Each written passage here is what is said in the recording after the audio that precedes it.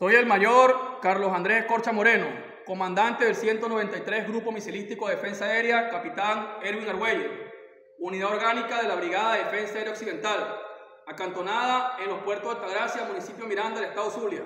Hoy, 13 de agosto del año 2024, con la fuerza de nuestros libertadores, que hace 200 años, bajo el mando de nuestro libertador Simón Bolívar, lograron nuestra gloriosa independencia. La soberanía reside en el pueblo, quienes a su vez abrazan la causa justa de libertad, de paz y soberanía.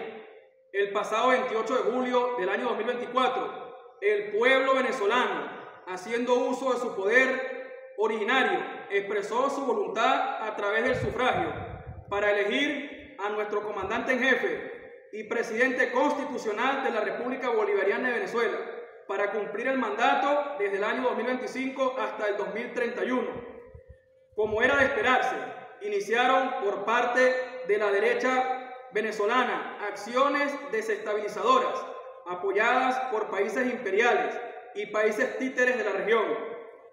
Esto nos ha costado la vida de dos profesionales de nuestra gloriosa Fuerza Armada Nacional Bolivariana, 47 heridos y 59 lesionados de los organismos de seguridad ciudadana del Estado. El 193 Grupo Misilístico de Defensa Aérea, bajo los ideales bolivarianos en perfecta unión cívico-militar policial, ratificamos nuestra lealtad absoluta al comandante en jefe y presidente constitucional de la República Bolivariana de Venezuela, ciudadano Nicolás Maduro Moro, reelecto por el pueblo y para el pueblo, para cumplir el periodo constitucional desde el año 2025 hasta el 2031.